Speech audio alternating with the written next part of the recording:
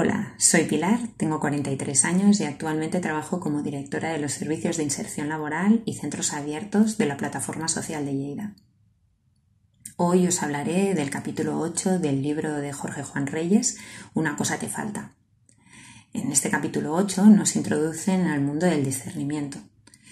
Como ya sabéis, el discernimiento es mucho más que tomar una decisión o escoger entre dos cosas.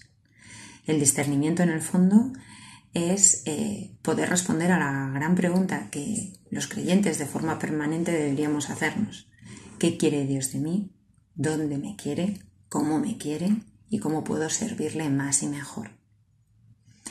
Estas preguntas, que son básicas en un proceso vocacional, también deberían acompañarnos eh, durante el resto de nuestras vidas, porque los procesos vocacionales pueden ir modificándose con el tiempo pueden ir incluso perfilándose. Para poder dar respuesta a esa pregunta es necesario que entrenemos en algunas habilidades.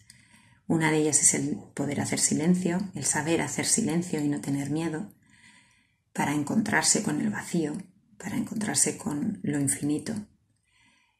Poder hacer oración para poder entablar una relación profunda con el Señor.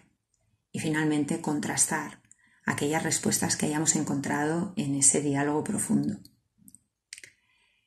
Espero que el capítulo 8 sea muy fructífero para cada uno de vosotros, disfrutarlo muchísimo como he hecho yo y muchas gracias.